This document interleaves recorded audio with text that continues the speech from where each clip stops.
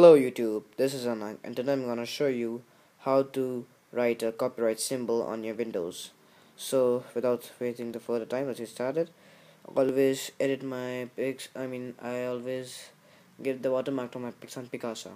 So let's go to Picasa. Okay, it's already open here. Hmm. And after Picasa, I'll go to File, then go to Export Picture to Folder, and my name is already already there plus a copyright then what I'll do is just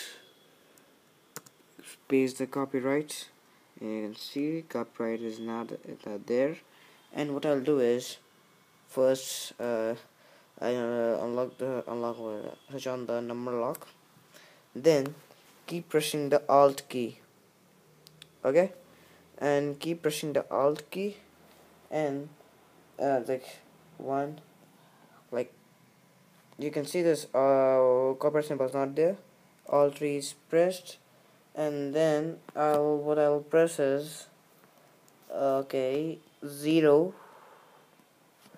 Just a second guys just a second. What I'll press is zero one six nine. Guys alt is still pressed and then just leave it.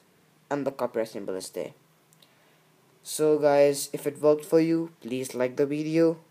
Please. Because I'm new to YouTube and I have and the maximum likes to my last video was 2 so guys please like it